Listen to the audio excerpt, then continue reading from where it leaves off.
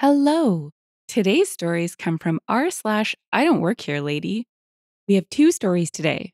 A bit slim this week, but luckily the sub just had a best of all time contest, and there's some winners I have never heard. First up, this isn't a dog daycare at all. A while back, I was working in an office that allowed dogs. It was an open floor plan, and since customers never came into the office, we kept the dogs' food and water bowls right by the front door just because it was the most convenient space, and no one else would see them but us who work there. Of the six of us who worked in the main office area, I was the only one who didn't have a dog. No pets policy at the apartment, and always felt horribly left out.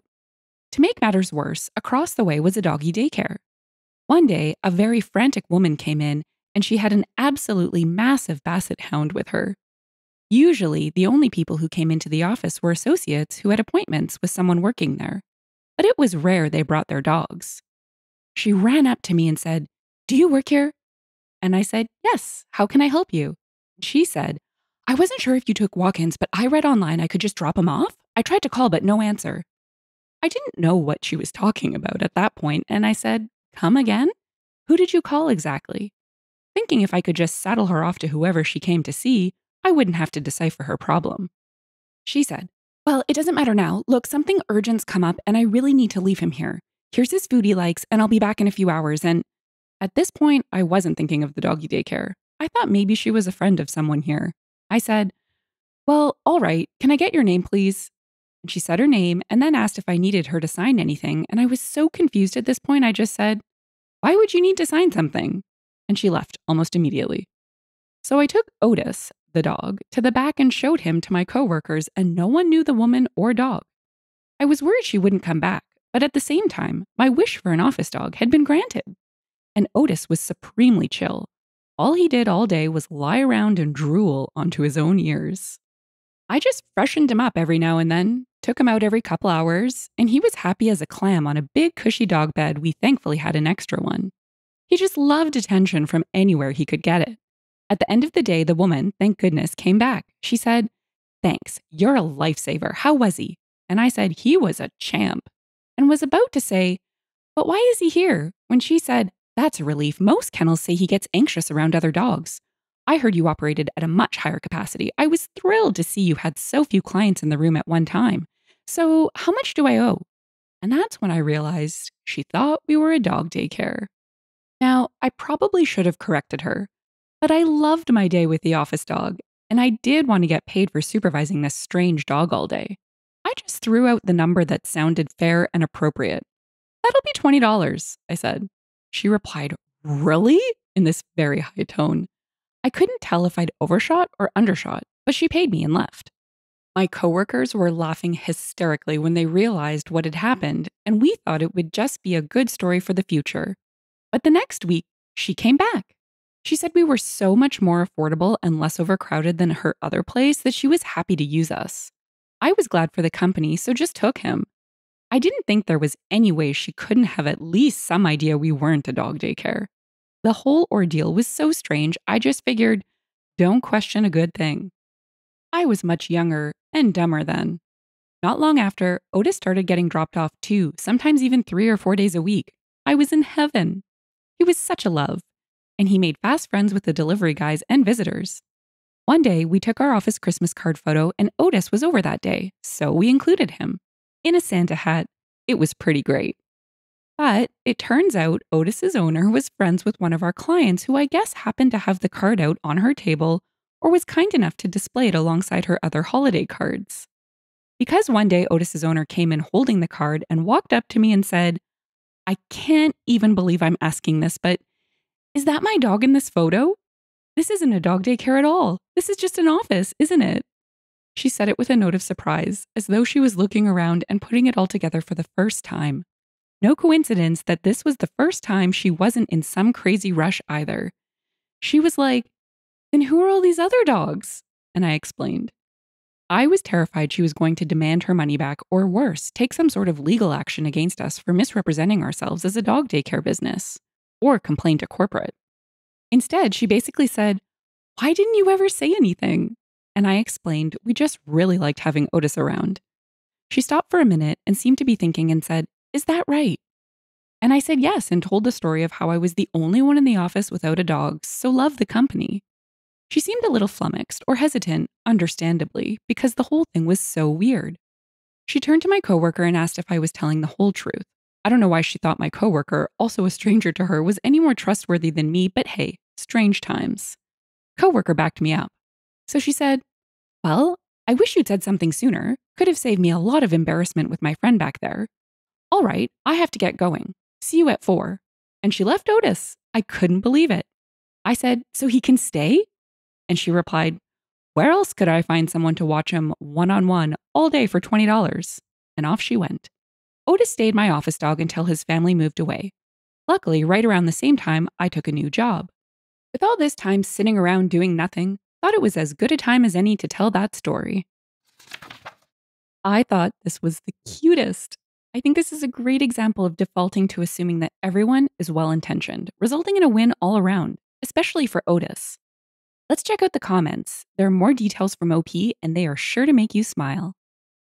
OP shared, to add to the wholesomeness, I can share that as we got to chat with her some, once it was all out in the open, she'd tell us how she'd never get tired of making jokes about it to people.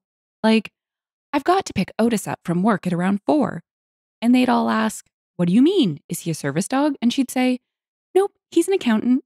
She once went so far as to take a non believer on the drive with her and walk him into her office, then walk out without him. She was just beside herself, cracking up as she explained to us the joke she was playing. We could see her friend's puzzled, shocked reaction from the car as she emerged without him and got a kick out of it, too. He'd never want to get up to leave. I think he just never wanted to get up. And without fail, every time she got him, she'd say, What's the matter, buddy? Long day at the office? and laugh hysterically. OP further shared, I think she just knew this is the complex with the dog daycare and was walking along the plaza looking in, so stopped at the first place with lots of food bowls and dog beds. I also thought she must at least suspect we weren't a real dog daycare, but when it was revealed, she seemed genuinely surprised. Our next story is I hope he wanted decaf. I know most posts here are rather short, but I'm apparently incapable of telling a short story, so this is going to be long. Plus, it needs some background. Some background. I work in a rather specialized area of forensics.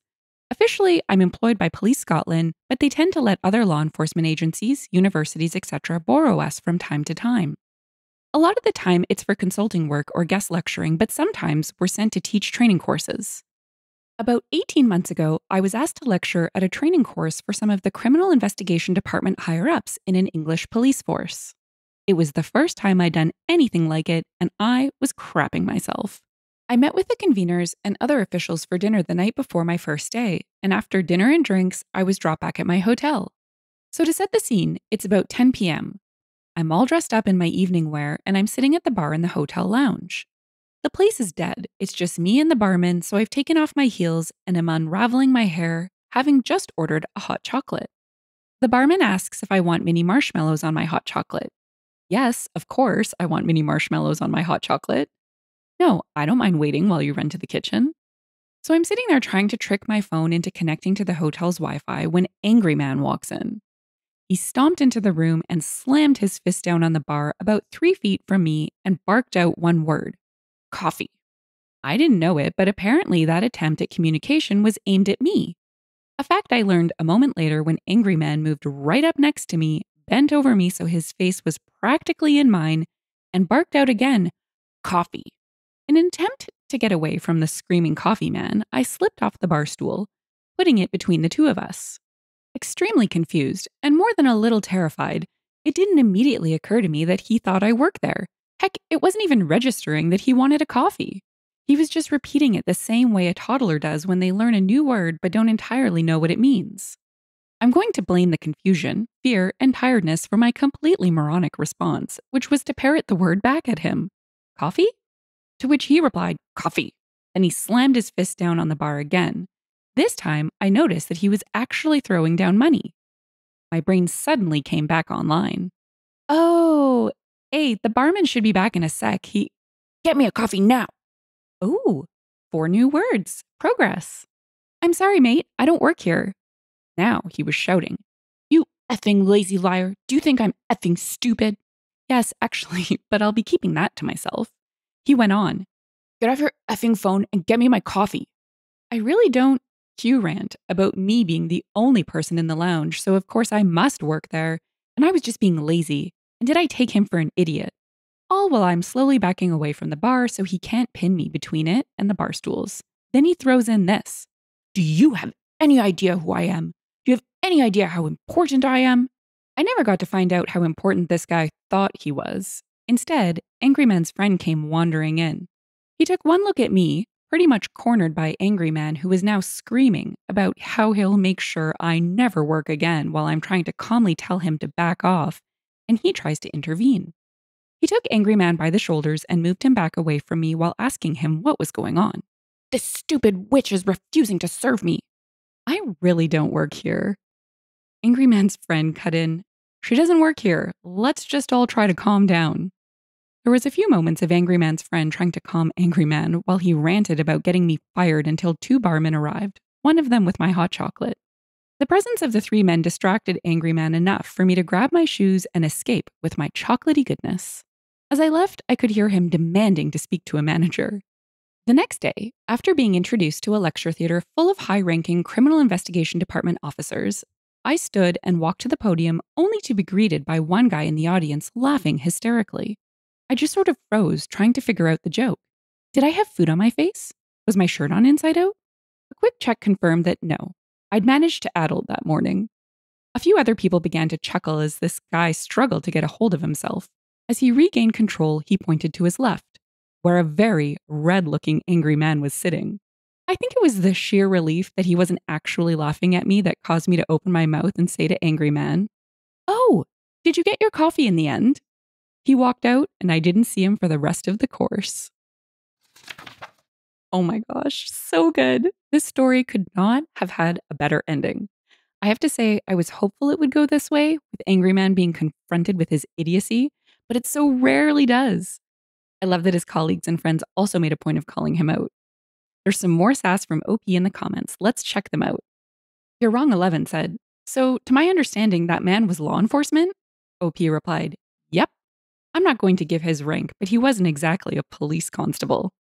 Nuclear Swan said, Scary that this level of maniac is high up in law enforcement. OP replied, You can get some right idiots high up in law enforcement who like to throw their weight around, but I think that's probably true in most industries. Power does weird things to people. Polygonic said, At least in the end, you found out who he was and how important he was. He surely seemed to want you to know. OP replied, Yes, the not knowing would have kept me up at night. If you've enjoyed the story and would like to hear more, consider liking, subscribing, and leaving a comment. Thanks, and bye for now.